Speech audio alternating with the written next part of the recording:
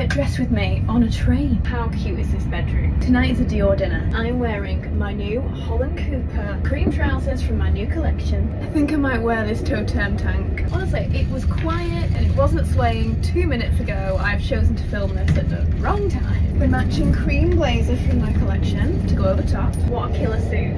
Dior heels. So my Holland Cooper collection launches like April 27th, I think. This whole white suit is in there. Plus it's like a full 13 piece collection. Just a little something over my earrings. These out. Instead, let's go for these. How sweet are they? Let's do a touch more. My favourite lip gloss ever. This is 610 Dior. I mean, how beautiful is that colour? So I do have a black bag, but I'm wearing that tomorrow.